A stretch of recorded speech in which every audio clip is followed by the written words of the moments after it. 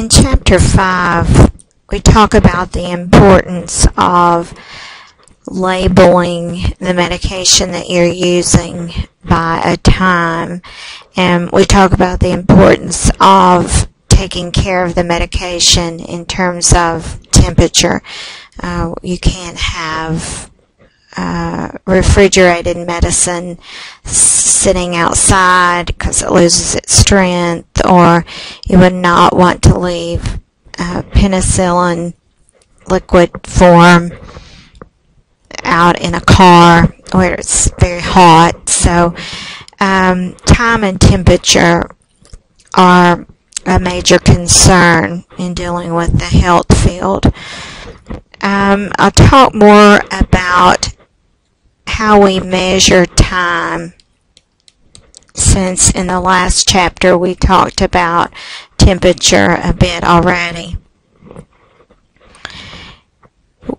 We use military time or it's really called international time and this is the 24 hour clock.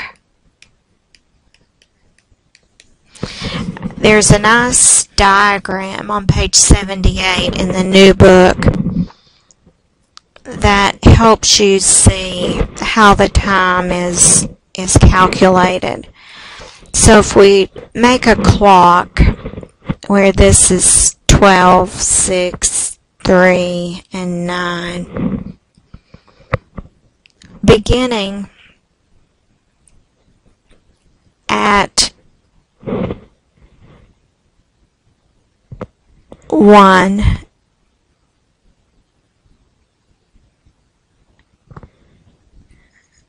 2 so on.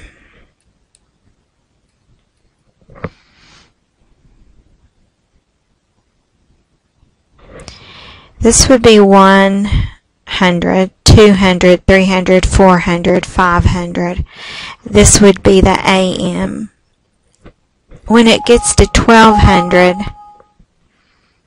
which is noon,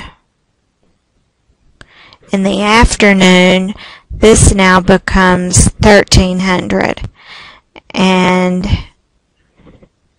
1400 and 1500 and 1600. That way, we do not have to distinguish between 1 a.m. and 1 p.m. or a.m. and p.m. is not an issue because if someone forgets to write a.m. or p.m., then and uh, you have a patient in the hospital or the nursing home, that becomes a real issue. And so by using military time, then we no longer have that problem. So the examples of problems that you'll be dealing with will be, okay, if it is 6.23 p.m., what time is it? And so if it's in the afternoon, you're adding 12 onto that. So the time would be um, 1823. Now if it's in the morning, let's say you have 2.34 a.m., then the time is 0 234.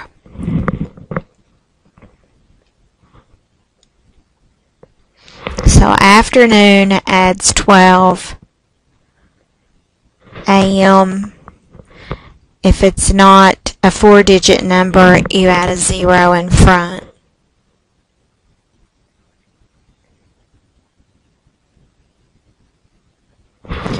So kind of tricky. What if it's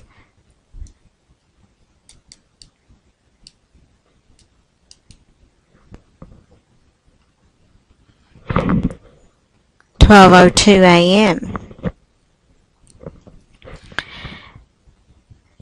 Then the time would be like this. So any time between 12 a.m. and 1 a.m. would be just whatever the minutes are. So if you have 1236 a.m., then it's just 0036.